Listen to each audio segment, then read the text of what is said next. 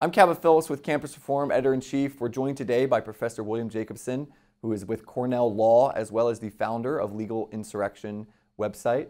Professor Jacobson, thank you so much for joining us for a conversation. Thank you for having me on. So, you are a man uh, that has spent a lot of time studying a variety of topics. One of those things has been uh, Elizabeth Warren, and you have been, um, you know, you spent a lot of time looking into her past history, her campaign now, and her time in the U.S. Senate. So you're a good person to ask about the 2020 race right now. And so, uh, as the campaign is going right now, what do you think her chances are of winning the nomination? And do you think that she's running a good race? What do you, what do you make of her chances? Obviously, hard to predict because yeah. seven months ago everybody had written her off, but I had not written her off because I've studied her enough. She is extremely persistent. I think that's a phrase she likes. And she is somebody who really is very almost fundamentalist in her beliefs, and she is very motivated.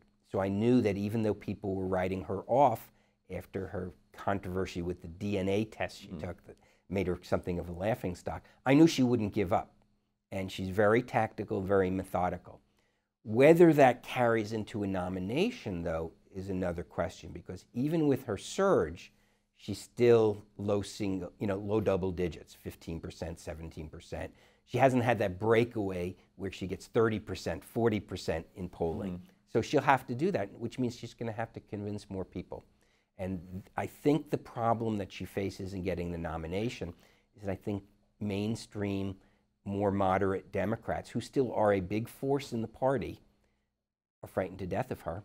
Not because they're frightened to death necessarily of her policies or of her as a person, they're frightened to death that she could be electoral disaster. I mean, how are you going to win Pennsylvania, which Democrats must do to win, with a candidate who wants to eliminate fracking? Anybody who knows about Pennsylvania, and Ithaca is just 45 minutes north of the Pennsylvania border, knows fracking has revitalized the, you know, almost the entire state west of Philadelphia. Mm. Yeah. You know, it was moribund like the economy is in upstate New York until fracking. How are you going to win Pennsylvania with that? How are you going to win Virginia when you want massive cuts to the military budget? Going to mean a lot of layoffs in Northern Virginia, which has been Democrats' salvation in poll in uh, elections.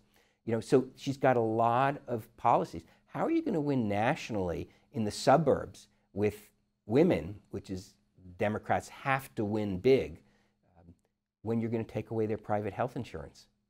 For their mm. children on the promise that a government plan will do better. I mean, we've all had experience with government. Government does some things that nobody else can do. We can't have multiple militaries. We can't have multiple, you know, sewer departments. But we all know from our life experiences that when it comes to things like medical care and, you know, the VA system, that government's not the best at doing that. And so I just don't see how, I think Democrats are scared to death that it could be a landslide of Mondale proportions if she is the candidate. And that's why I think somebody's going to do something, I don't know what, to stop her within the Democratic Party. And so you bring up her signature policy proposal at this point, which is Medicare for All. Uh, at the time of filming this interview, it just came out. Mm-hmm. So, um, full disclosure, you've not had chance to go through the full details of the plan. But what you know of the plan, the news reports that have been coming out today beforehand, and what you knew in the lead up to it, what do you make of her Medicare for All plan? Do you think it's feasible? Do you think it's going to help or hurt her? Yeah. Well, like you said, I've read the news reports about it, including the New York Times. So, not an entity that's likely to be skewed against her. But even the New York Times said her plan is built on, a, I think the term they used was aggressive set of assumptions about how the economy would work and tax revenue and things like that.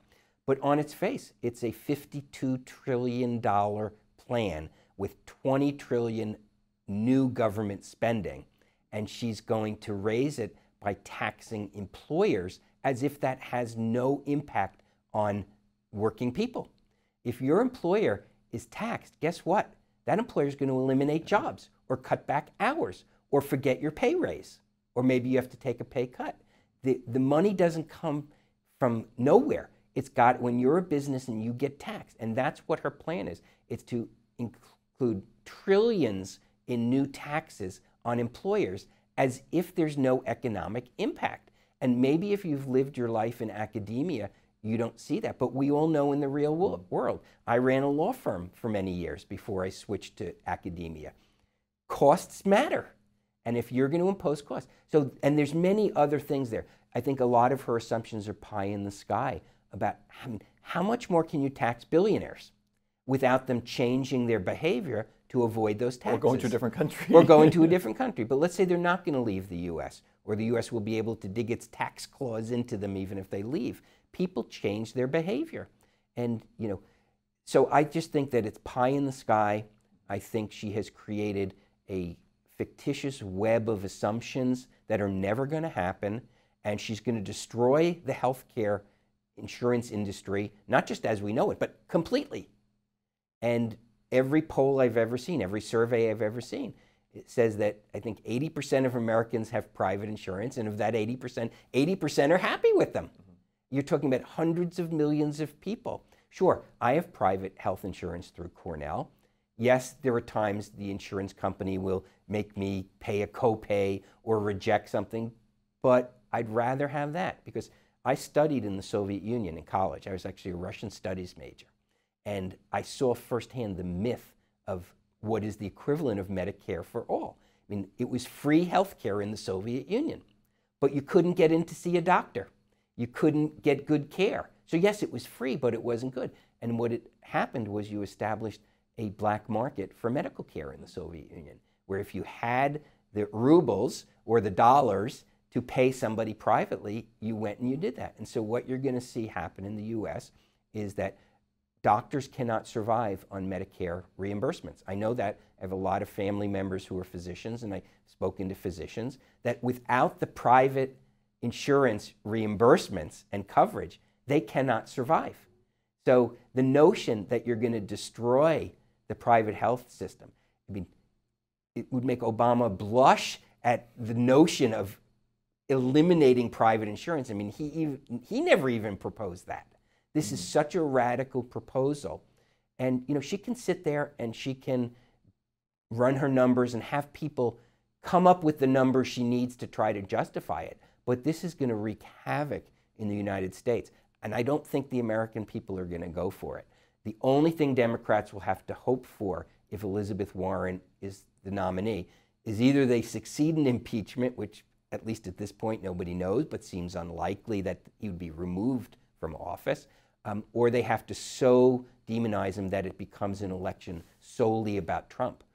And that's why I think Democrats are nervous, because if you have a more moderate Democratic candidate, you have a chance of making the election about Trump.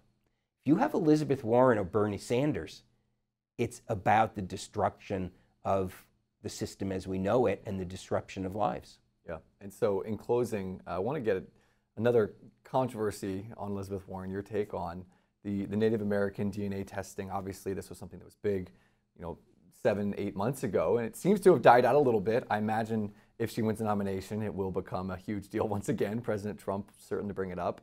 How much of an impact do you see that having, and, and do you think Americans should care in general about what she did? Yeah. Well, uh, we've studied the Native American issue probably more closely than anybody, and we've also done the research on it. And we did this all in 2012 during her Senate campaign. And we have it all documented at another website that I have, which is called elizabethwarrenwiki.org. elizabethwarrenwiki.org. We have it all in one place. And people will be shocked to find out how manipulative her Native American story was, how she used it only for employment purposes, how she never claimed to be Native American until she was in her 30s and climbing the law school ladder, and how she only used it in a law directory which would help advance her chances, and how she's had denial after denial. You mentioned the DNA test. That's just the last in a long line of denials. People don't realize that while she's now saying she's sorry for making the claim of being Native American, even after she was discovered in 2012, she spent almost seven years defending it mm. and defending that she was in fact Native American. There's many videos out there. She was asked, "Would you be the first Native American senator from Massachusetts?" And she said, "Yes, I would." This was not; these were all on video, and these are going to be run on TV. Uh, so it was extremely, extremely manipulative. She's not been upfront about it. The DNA test which flopped dramatically um, and offended actually Native Americans. Yeah, as it should have. As it should have, because that's not how they measure whether you're Native American. It's not based on DNA. And so I think it will be a problem because it fits into a broader narrative. There are many other aspects of her personal narrative which are not holding up to scrutiny. She claimed that she was fired as a teacher in school um, because she was pregnant. And people did some digging, and it turns out there's strong evidence that that is not true. She claimed that she had a Me Too moment with a, an older professor, but even the Boston Globe said, now she's saying that, but that's not how she described the interactions with him years ago in interviews.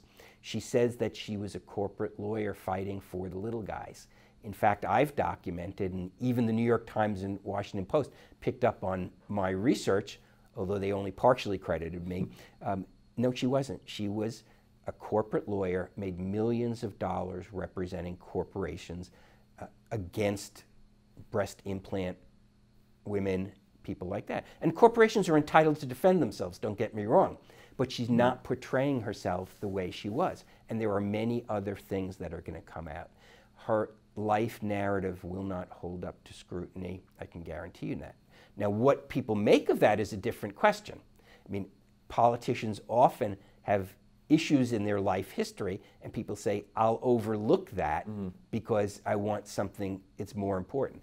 And I could see a lot of Democrats saying, I don't care that she lied about being Native American. I don't support it. I don't care that her personal narrative is false because I hate Trump so much. Yeah. I'll vote for anybody.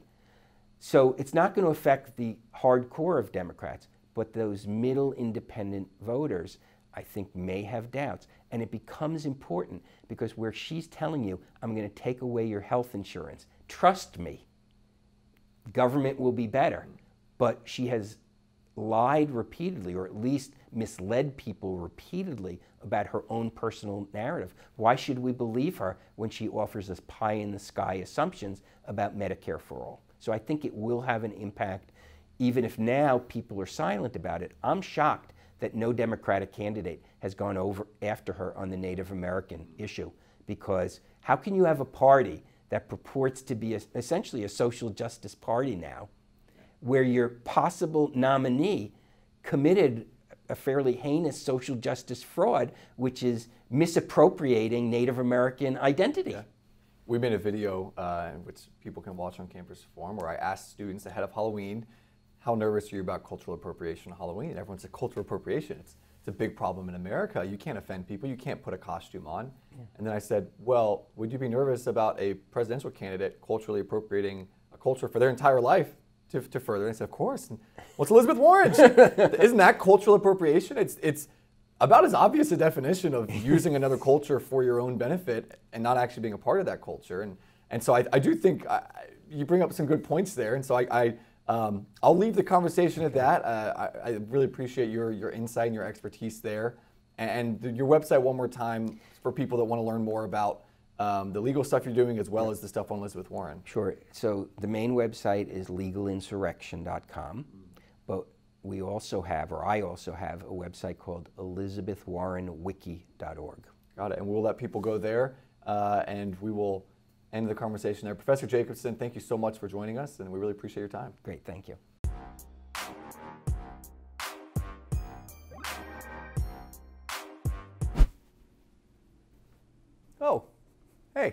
I'm Cabot Phillips with Campus Reform. Thanks for watching that video. If you want to join our team, we're always looking for new investigators, correspondents, and tipsters.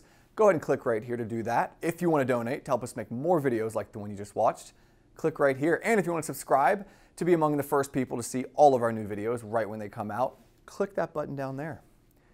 Just pick one of them, whichever one looks nicest to you.